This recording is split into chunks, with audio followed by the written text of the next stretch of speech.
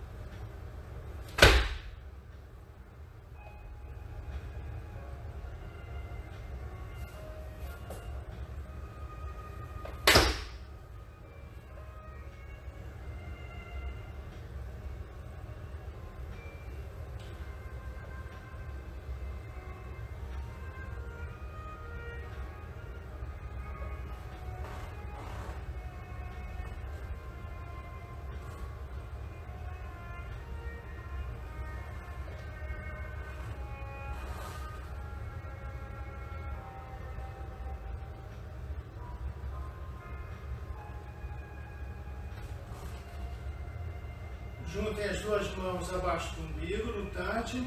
Fechem os olhos um minutinho só e observe.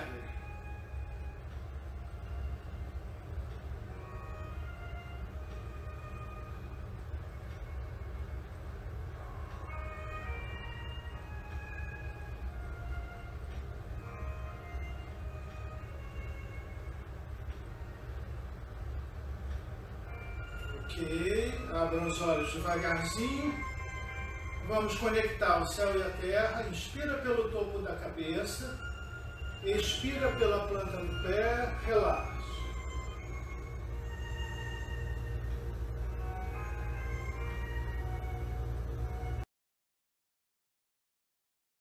Agora que nós praticamos as 13 posturas, ou Pafá Ubu, vamos agora nos aprofundar no assunto, entrar nos detalhes do que significa o nome, do que significam as energias e vamos praticar mais um pouco. As 13 posturas que chama-se oito métodos Pafá e cinco passos, Upu. Né? Então, o que, a que se refere os oito métodos? São os oito movimentos, as oito energias que você exerce da cintura para cima. Om, né? Om, Li, Ti, An, Tsai, Le, Tso, Kal.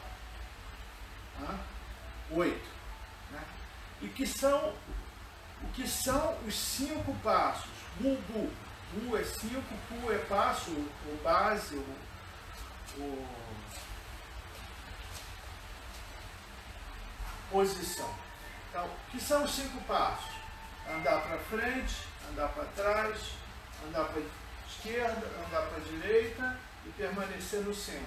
Porque o centro é considerado uma direção, talvez a mais importante de todas. Então, 8 mais 5, 13. Por isso que a gente chama de 13. Né? 13 é, é sempre esse número chave dentro do Tai Chi por causa disso. Porque todas as formas, Lao 19, não importa, qualquer Tai qualquer estilo, vai ter sempre que conter essas 13 é, energias. A gente classifica como energia mesmo o deslocamento para a direita ou para a esquerda como se fosse uma energia. Né? Então, é, então, qualquer estilo tem que conter. Muitas vezes, um dos exercícios que os professores fazem, é, alguns professores mais tradicionais fazem, que a gente, a Shen fazia, Shechawan também eventualmente fazia, era pegar uma postura, né? vamos, vamos pegar, por exemplo, a postura Lanzai, né? Lanzai na 19, faz isso aqui. Tá? E, a, e aí dissecava quais são as energias envolvidas nessa postura. Tá? Então você tem, no caso aqui, você tem Ti, tá? você tem Sai, você tem Kal, você tem Chou, você tem de novo Tsai e An. E no final, você tem o assentamento central, além do deslocamento para a direita. Então você tem, em todas as posturas, uma maneira de relacionar ela com as três, com essas três que são básicas. É como se fosse Dó, Ré, Mi, Fá, Sol, Lá, Si, Dó. Né? Mas os sustenidos e os bemóis todas as músicas se resumem a essa escala pequena de sete notas. Da mesma coisa no Tai Chi, tudo se resume a essas 13 posturas. Esse é o denominador comum. Tanto é que Tai Chi, antes de ser chamado Tai Chi, era chamado Shi San Shi Chuan, ou seja, o punho das três energias. Esse era, esse era o primeiro nome antes de se chamar Tai Chi. Então, por que, que isso é importante numa aula de Ticum? Por quê? Porque Ticum é você trabalhar a energia, literalmente. Né? E você trabalha as energias no estilo, no estilo Chen, estilo Yang, do Tai Chi, você trabalha as energias de que maneira? Né? O que, que transforma isso no Ticum Tai Chi? você trabalha essas energias sempre dentro daquela regra dos 70%. Uma curiosidade tá, com relação à regrinha dos 70%. Porque quando você trabalha a sua energia acima dos 70%, ou seja, elevando a sua energia para extremos, fisicamente, energeticamente, uh, psicologicamente, quando você passa dos 70%, chega perto dos 100%, continua sendo ticum, é um ticum. Tem certos ticuns, por exemplo, ticum específico uh, para algumas doenças, como câncer no fígado ou câncer no pulmão, e que vai levar você além dos 70%, vai te empurrar lá porque você precisa de uma resposta radical para uma coisa que está te afetando radicalmente. Né? Mas o Tai Chi tem sempre essa questão da moderação, que é o ideal. O que, que é esse equilíbrio? Porque a gente fala assim, gente sempre quando pensa assim, equilíbrio é 50%, 50%. Você está no meio de uma balança, né? 50%, 50%. Mas dentro da lógica chinesa, não tem essa simetria, é muito estática. Então ele sempre põe 70%, 30%, 70%, 80%. Isso faz que você tenha um equilíbrio dinâmico. Né? Ou seja, não é um equilíbrio estático, você permanece em equilíbrio durante a sua movimentação, em vez de 100% para um lado, 100% para o outro, no qual você vai gerar o seu desequilíbrio. Né? Então, muito bem. É, só como curiosidade, essa ideia dos 70% é muito antiga. Né? Você tem essa razão de 7 por 10. Né? 7 por 10. Então, se já no, no, no, nos clássicos dos rituais chineses, que tem mais de 2.500 anos, esse clássico do, dos rituais, né? fala que quando ah, você perde uma pessoa da sua família, você tem um luto que vai durar, principalmente para o filho mais velho, vai durar 10 dias.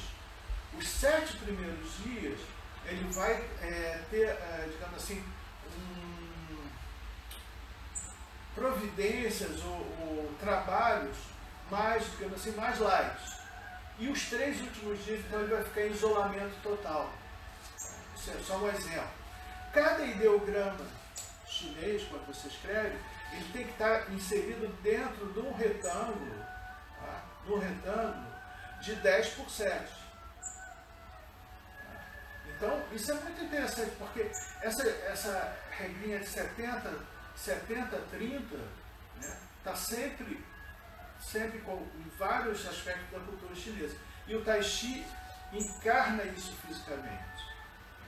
Então, quando a gente estiver aqui fazendo pom, né, vocês vão estar fazendo pom, Aqui você tem exatamente isso. 70% nessa perna, 30% nessa perna. 70% nessa mão, 30% nessa mão. Passei demais. Passei demais. Então vamos lá, vamos, vamos trabalhar a forma. Eu vou continuar fazendo espelhado para vocês. Vocês vão reparar que nessa forma, né, conforme o vídeo que eu mostrei para vocês aí sempre, né, ela vai estar tá fazendo, começando sempre para a esquerda. Eu vou estar tá fazendo espelhado para vocês poderem acompanhar que nem um espelho. Tá? Mas a maioria das atitudes começam pela esquerda e acabam pela direita. Com exceção do último movimento, no qual você vai fazer, vai começar a fazer cotovelo e ombro para a direita para acabar pela esquerda. Tá? Então vamos lá.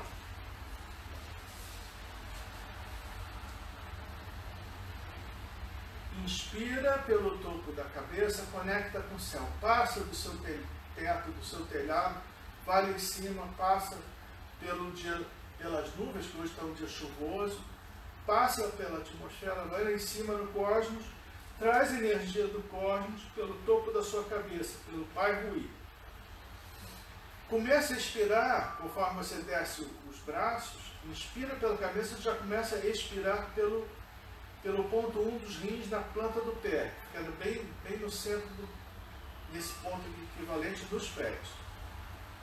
Expira. Flexiona os joelhos. Vamos abrir mais do que o normal, porque a gente vai precisar de deslocamento lateral para não afetar os joelhos. Então vão abrir mais do que a largura dos ombros, um pouquinho mais. vamos relaxar. Fechem os olhos um pouquinho, vamos procurar as três harmonias. Primeira harmonia, harmonia da mente, escutar todos os sons à sua volta.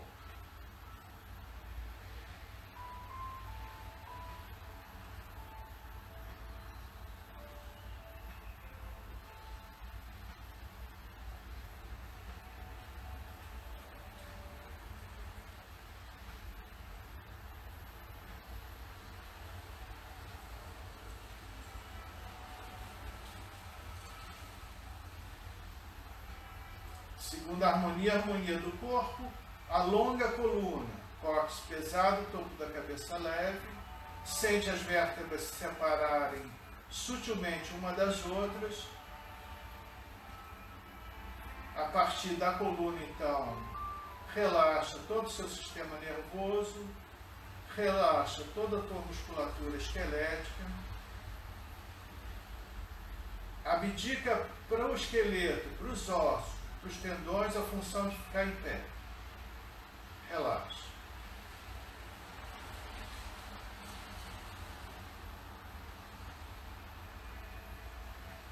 Terceira harmonia, harmonia da energia.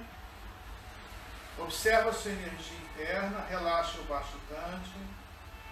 A partir do baixo tântin, vai acalmando toda a sua energia interna. Procura o conforto, a sensação de conforto.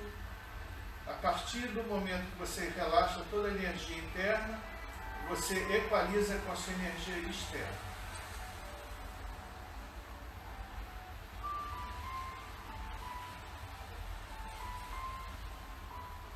Relaxa.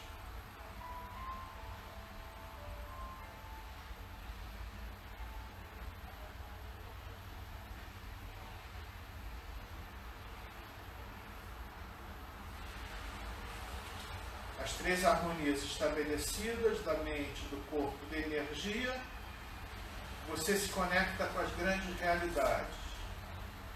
O céu, a terra e você unidos. Ok? Vamos abrir os olhos devagarzinho. Preparar para começar a forma. E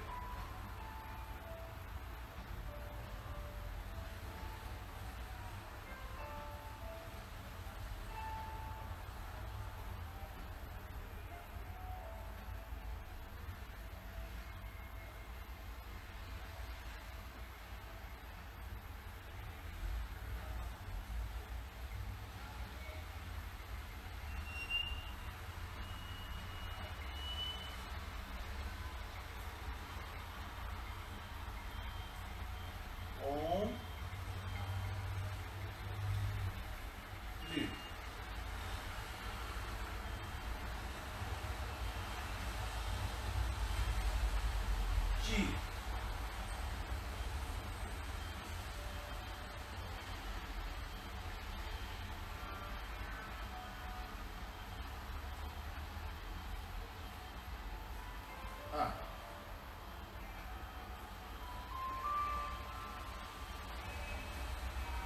Guia.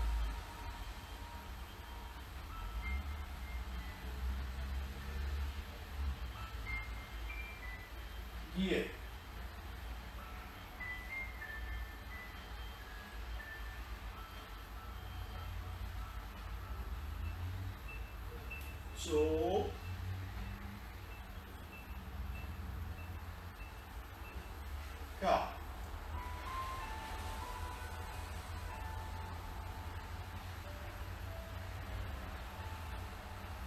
outro lado agora. Pá.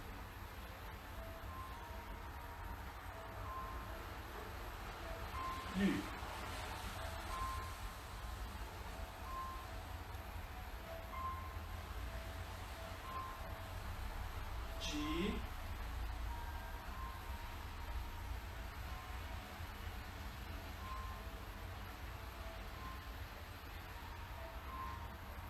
啊，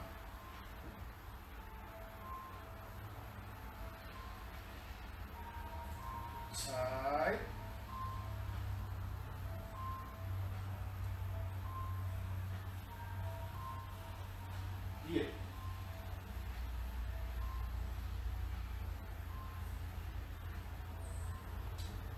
쭉.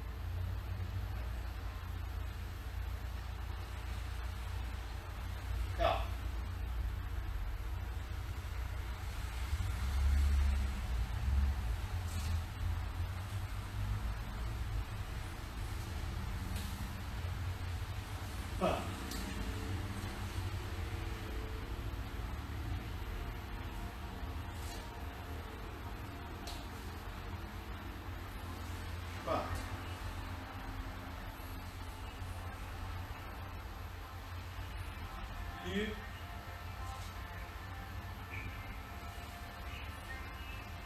Liu.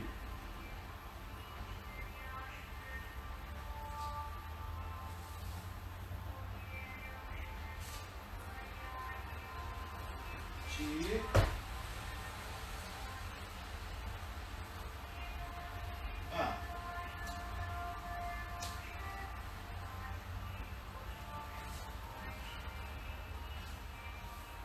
Ti. Ah.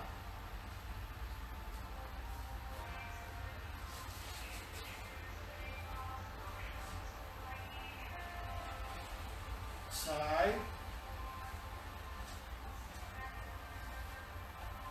Sai.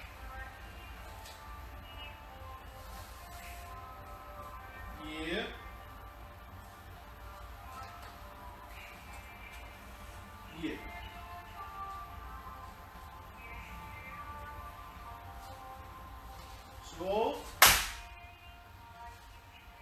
Cá.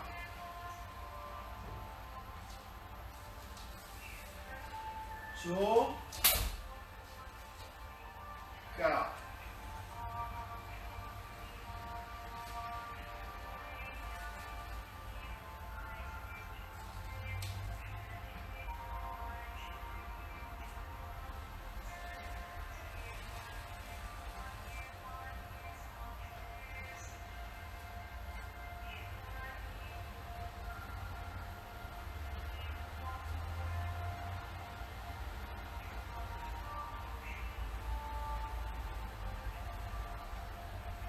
Mais uma vez.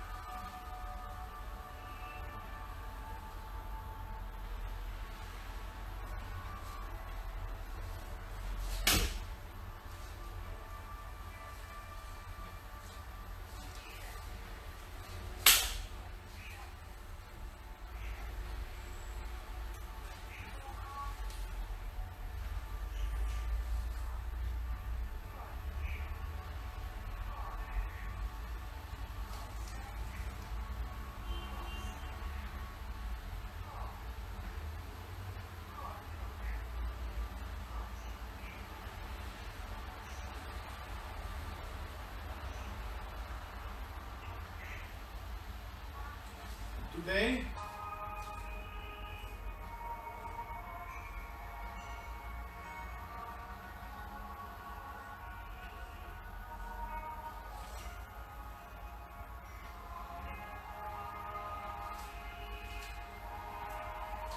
Relaxa.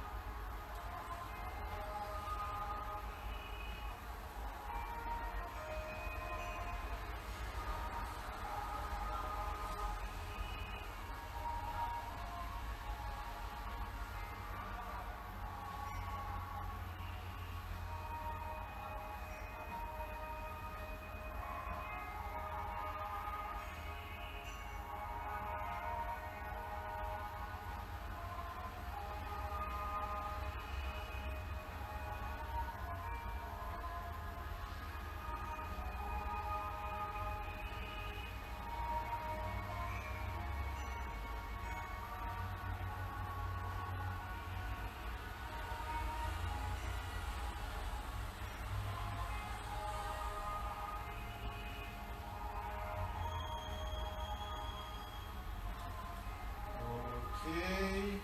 Preparar. E.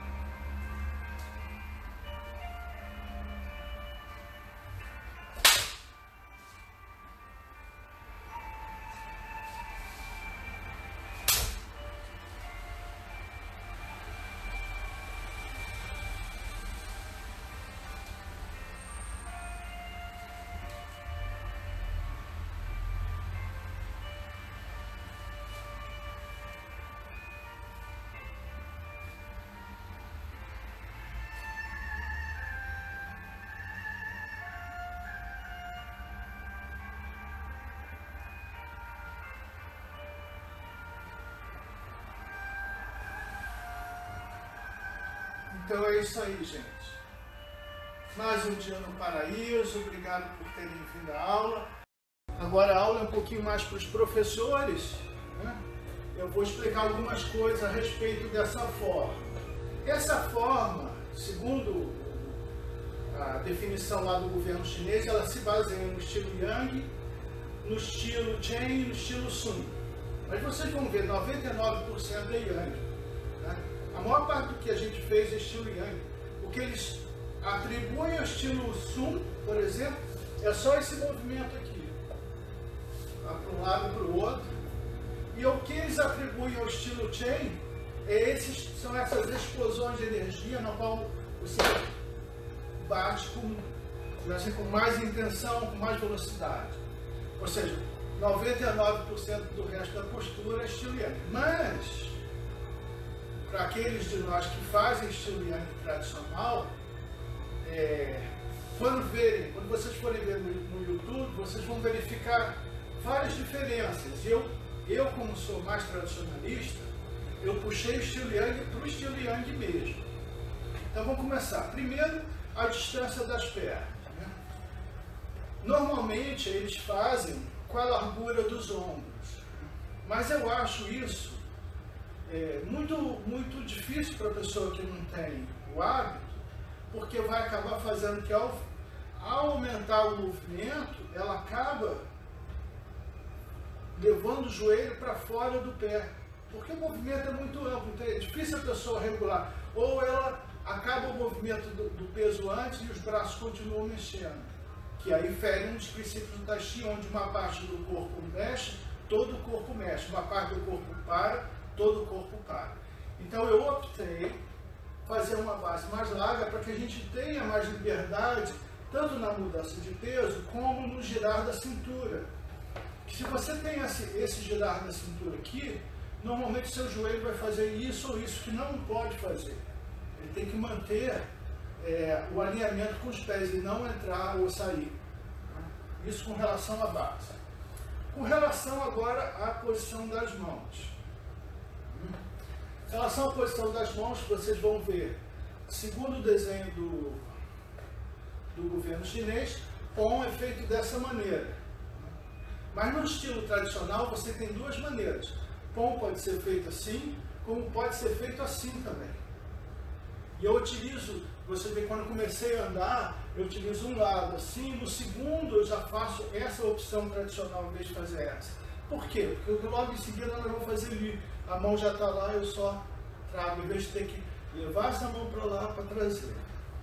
E são detalhes técnicos que talvez para as pessoas não tenham tanto interesse, mas para as pessoas que gostam de Tai Chi, eu sei que tem várias pessoas aqui que estudam muito Tai Chi, é, vale a pena ilustrar.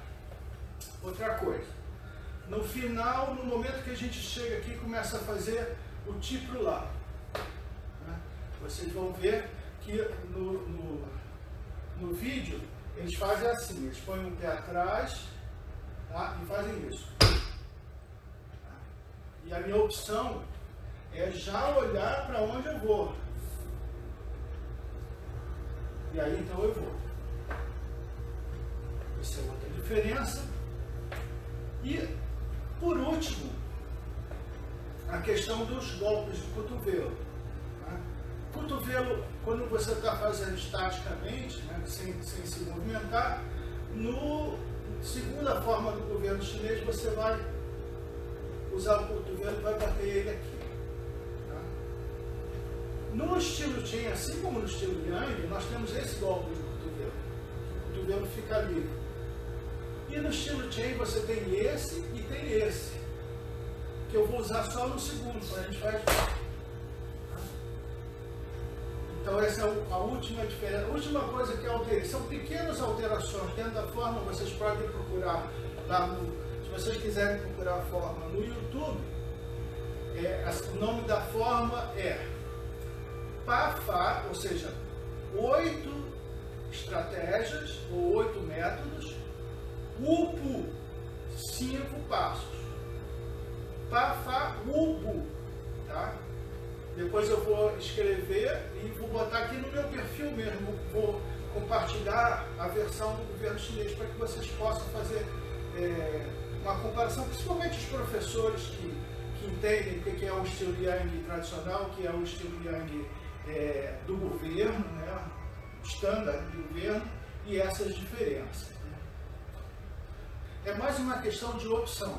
Né? Se eu estou fazendo isso, e se eu estou indo nessa direção, eu quero que, que meu foco esteja onde eu vou estar aplicando a energia.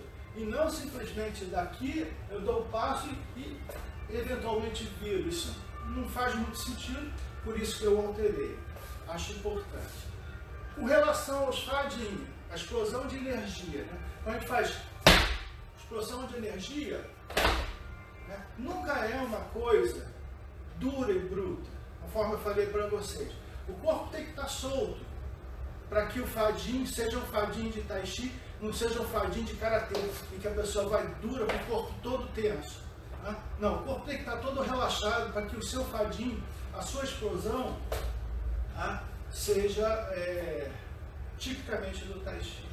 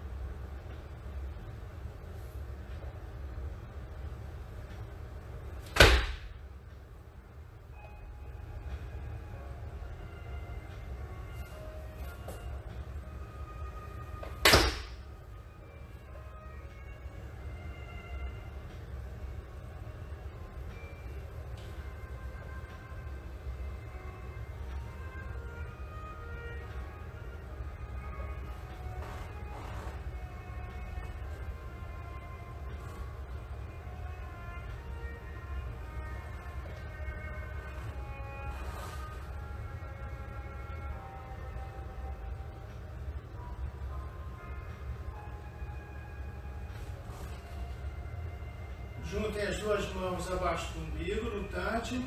Fechem os olhos um minutinho só e observem.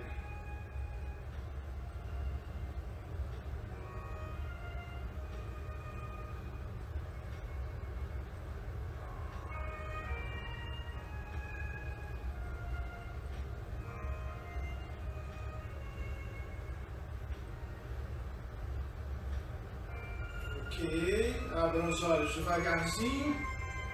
Vamos conectar o céu e a terra. Inspira pelo topo da cabeça. Expira pela planta do pé. Relaxa.